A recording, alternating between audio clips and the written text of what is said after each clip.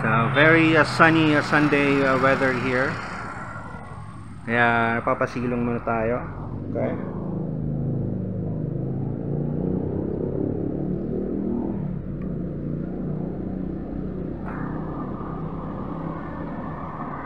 Okay, what's up YouTube? Uh, welcome to another episode of Boss Mark TV. My name is Mark and uh, for today's video we'll be doing a uh, product review. This time, uh, titingnan, papakilala ko sa inyo yung aking uh, motor. Uh, my daily ride, my ever reliable uh, uh, ride. And uh, check her out.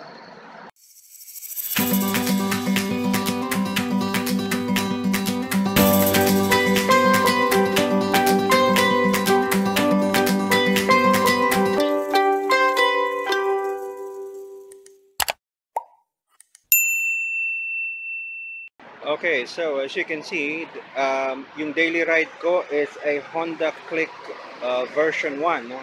It's an FI 150. Sa nakikita nyo, hindi na siya stock. So, modif accessorized na siya in other words. It's not modified, but accessorized. Uh, dito muna sa parteng uh, unahan dito. And then, uh, we go here. Okay. Um, so, dinagdagan ko siya ng uh, crossbar. So, itong crossbar niya is uh, very useful and very reliable. Kasi na, na nakiklip ko dito kung ano-ano mga accessories na gusto ko. And uh, ito importante kasi nilalagay ko dito minsan yung aking uh, camera action camera para may view doon like this and also dito sa harap para makita naman ang kagwapuhan ko. Then nilagyan ko siya ng SEC shout out kay SEC uh, cellphone holder. The reason bakit ko ito binili is because naro-rotate siya ng ganito, ganyan. So I can have a portrait view of the video and pag gusto ko ng wider view, yan, rotate ko lang siya. And uh, also if you notice, yung aking uh, side mirror ay uh, hindi na siya stock. No? So this is an R25 uh, side view mirror customized only for uh, version 1 of Honda Click. And uh, the reason bakit ko siya nilagay dito is because yung kanyang uh, mirror ayan, ang salamin niya is malaki. So nakikita ko kung ano yung ng uh, malinaw yung nasa likuran ko. Plus of course nilagyan ko siya ng blind spot on both sides blind spot mirror. Kasi importante rin yung makita mo dito yung uh, so, uh, likuran mo bandang uh, side no? uh, dito kasi makikita mo lang yung likod. But please dito like this one standing next to my uh, unit nakikita ko. Right? Nilagyan ko rin siya ng uh, hand kasi usually since I'm uh, using yung uh, open uh, open gloves like this one na either natatamaan yung dito ko ng init or lamig. But when I got this, solve na solve na yung ano, arthritis natin. Alright. Shout out din kay Moto Wolf for this uh, action cam holder. Ayan. Uh, solid siya. Walang alog. Um, I'll be also doing a separate review for this one. And uh, sa mga nagtatanong, nasaan yung action cam ko? Well, nandito po siya sa helmet ko.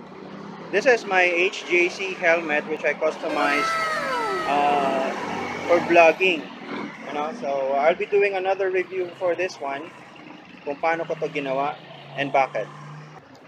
Alright, so uh, here we have the usual um, idling stop uh, uh, switch.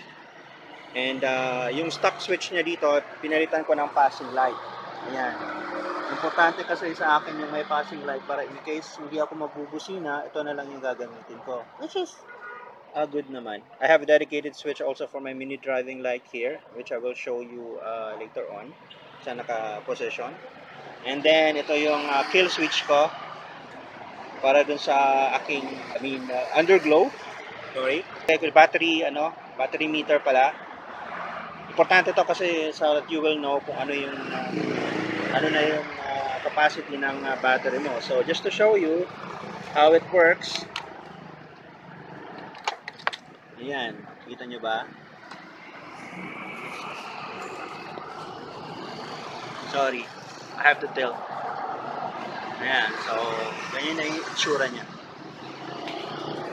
Tapos, ang milyahe naman ng ah, motor ko, well, it's just uh, 17,000 pa lang. This is my uh, hazard switch. Tapos, ito yung aking uh, switch para sa uh, auxiliary lights ko, yung kill switch ko. And this is the most important accessory a rider could ever have. No? So, before aalis ng bahay, make sure to pray the rider's prayer. Ayan. Ito yung sinasabi ko sa inyo, yung aking mga auxiliary lights. Um, ito yung laser gun. Right? So, on both sides, meron ako niyan. And also, I have a mini driving light. Ayan. So, kung titingnan natin, nakaposition siya dito sa gilid. Nakakabit siya sa aking uh, crash guard. Okay? Ayan. So, bakit ko kailangan ito? Like I said, uh, kailangan kasi, pag, lalo na pag, naka, pag uh, nagbiyahe ka ng gabi, hindi mo maasahan talaga ang uh, stock light ng uh, na, ng motor kasi although LED siya, mahina pa rin. Ngayon, uh, bakit ko siya pinosisyon dito? Why not uh, here or why not here dito sa aking uh, crossbar? It's because yun po ang sabi ng LTO, kailangan naka-mount siya sa uh, hindi movable part ng motor and it has to be underneath the headlight. Shoutout nga pala kay uh, Mar Works Garage. Uh, ilalagay ko yung kanilang FB page sa link, uh, yung kanilang link sa description below. And uh, kung gusto nyo uh, ng mga auxiliary lights also in this one, you can just uh, send a direct message to Mr. Mar Israel, ang pinakamalupit na light uh, o motorcycle technician, both engine and uh, lighting. Yan. Eksperto siya dyan. And uh, dito sa aking crash bar, shoutout din kay Sir uh, Rex, no? Sir Dems uh, Motoparts and Accessories. Lalagay ko rin yung kanyang FB page uh, description para doon kayo bumili sa kanya. Um, ever since I got this crash guard, wala nagiging problema. Plug and play and uh, mabait din yan si Boss Rex. Tapos I have here yung uh, footrest, footrest bar ba tawag dyan? I don't know. Ayan, kasi minsan pag nag, uh, nagra-rides ako, uh, hindi ako comfortable pag ganito, yung setup ng aking paa. It has to be here, mga ganon, o lalabas. Or minsan nilalagay ko dito pag uh, aggressive mode. And uh, dinag dinagdagan ko rin ng uh, ito, foldable na footrest na clamp. Ganyan. Uh, di ba? Para nai-stretch konti yung aking paa kasi pag tinatamaan na tayo ng uh, arthritis, may feeling NMAX na rin ako. Alright, shout out sa Davao Honda Scooters Club and the Click of Davao. Uh, if you own a uh, Honda uh, Click, just like me, uh, pwede kayo mag-apply mag as a member ng club. Uh, put the link on the description below. So, uh, importante rin na magkaroon ng uh, uh, top box. Dadala ako ng mga dadala ako ng mga deliveries na mga mga shirts uh, and stuff like that. So, kailangan natin ng top box. Shout out nga pala kay Mr. Chiboy Huertas uh, para dito sa GV bracket na ito. Um, I've had this bracket for or more than 3 years na and it's still still matibay, no? It's still solid. Tinanggal ko lang yung grab bar ng stock, pinalitan ko to and uh, all good. Tapos, uh, GV yung bracket mo, kailangan GV rin yung uh, top box mo. Right? So, I'll put the link on the description below. Uh, yung product details uh, ng box na to. Sa monolock. Kaya, madali lang siyang gamitin. And of course, uh, Mayora, you know, beka naman. Beka naman. Alright. So, I guess that's about it. Alright, shout out nga pala sa Light Trends. Their store is uh, located in Cabantian Road, corner Mamay Road, and they're having a clearance sale right now up to 70%.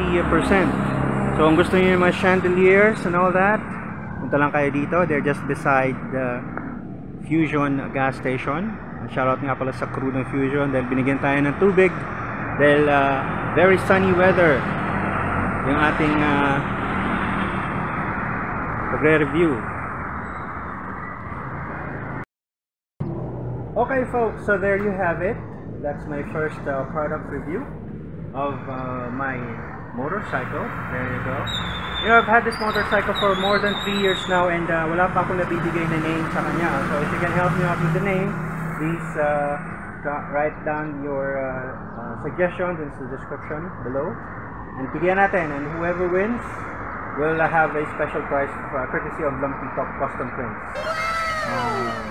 Alright, so uh, so that's it. I'll see you on my next vlog. God bless and uh, also ride safe. Okay? This has been Bossmart TV signing off. Bye for now.